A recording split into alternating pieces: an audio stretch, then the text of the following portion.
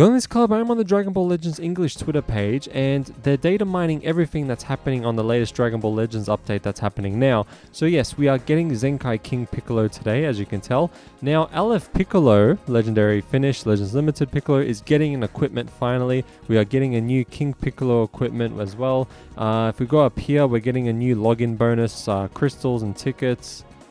Now, let's see here. Now, we have the sleeves for King Piccolo. Now, Legends Return Piccolo. So, Legends Limited Piccolo is returning.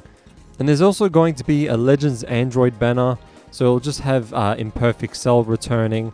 But yeah, this is the Legends Return Piccolo banner. So, it has, oh, nice. So, it has a lot of regen on it. And then you just got Goku randomly on it. But it's still cool that you can get this Goku again if you wanted him. And especially Piccolo if you wanted him because, you know, you probably didn't get him. If you want him, you can get him now, and it's a step up banner. And Zenkai King Piccolo banner.